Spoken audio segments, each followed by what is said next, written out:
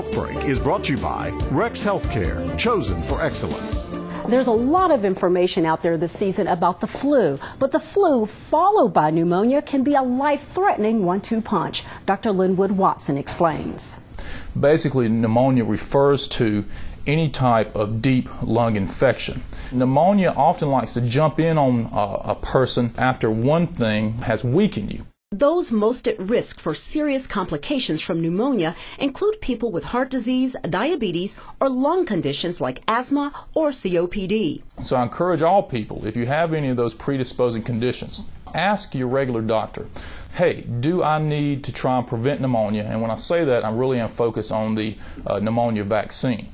And while it is not a bulletproof protection against all pneumonias, it does protect against 23 of the biggest and baddest ones that we often fear the most. And if you are fighting the flu, pay attention to your symptoms. Listen to your body. You know yourself best. There's no need for hysteria, but at the same time, if you're dealing with an illness and you truly feel worse, I would be checked.